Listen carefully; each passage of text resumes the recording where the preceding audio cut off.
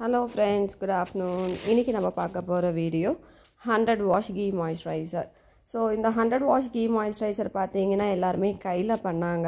So என்னால் கையில் பண்ண முடியல.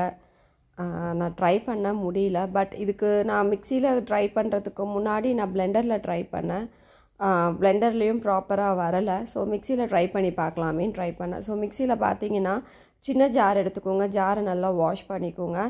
அதில் வந்து ரெண்டு ஸ்பூன் வந்து கீ ஆட் பண்ணிக்கோங்க. இன்றைக்கி நான் எடுத்த கீ பார்த்தீங்கன்னா ஜிஆர்பி கீ தான் எடுத்திருக்கேன்.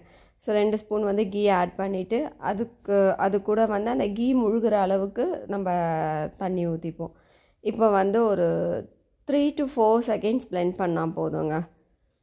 ஃபோர் செகண்ட்ஸ் பிளெண்ட் பண்ணிவிட்டு திருப்பி ஸ்டாப் பண்ணிவிட்டு திருப்பி பிளெண்ட் பண்ணுங்கள் இப்போ வந்து ஃபஸ்ட்டு வாஷ் இது. ஃபஸ்ட்டு வாஷில் வந்து நம்மளுக்கு இந்த மாதிரி க்ரீம் வந்து இந்த அளவுக்கு கிடச்சிது. ஸோ இப்போ இந்த தண்ணியை வந்து நம்ம கீழே கொட்டிடலாம். இப்போ அகெயின் வந்து செகண்ட் வாஷ் கொடுக்கலான்னு கொடுத்து பார்த்தேன். ஸோ செகண்ட் வாஷும் அதே மாதிரி தான் நம்ம கீ முழுகிற அளவுக்கு நம்ம தண்ணி ஊற்றிக்கலாம் செகண்ட் டைமும் நம்ம செகண்ட் டைம் நான் ஒரு five seconds to six seconds வந்து நான் பிளெண்ட் பண்ணேன்.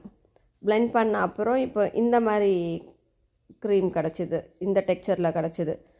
இப்போ இந்த தண்ணியை நம்ம எடுத்துடலாம். ஸோ நான் தேர்ட் டைம் ட்ரை பண்ணலை. நீங்கள் யாராவது ட்ரை பண்ணுங்கள் இதுக்கப்புறம் க்ரீம் எப்படி கிடைக்குதுன்னு சொல்லுங்கள் தேர்ட் வாஷில் ஸோ டூ வாஷ்லேயே வந்து க்ரீம் நல்லா சாஃப்டாக க்ரீமி டெக்ஸ்சரில் இருந்ததுங்க.